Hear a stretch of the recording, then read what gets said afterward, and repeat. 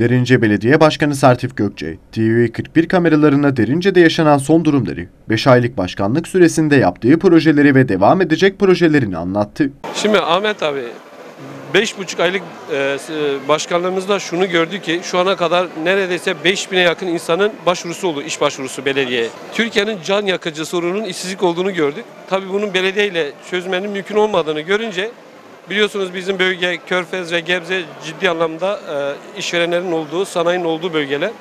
Biz de hemen istihdam ofisimizi kurarak bu firmalarla temasa geçtik. Dün ilk e, etkinliğimizi yaptık. Yaklaşık 25 tane firma ulusal çapta çok büyük firma katıldı. 500'e yakın da gencimiz geldi. İş görüşmesi yaptı. İnanılmaz verimli geçti. Çok güzel geçti. Biz bunu kurumsal hale getireceğiz. Ve önümüzdeki dönemlerde de e, bu tür etkinlikleri, daha doğrusu bu istihdam ofisimizi geliştireceğiz.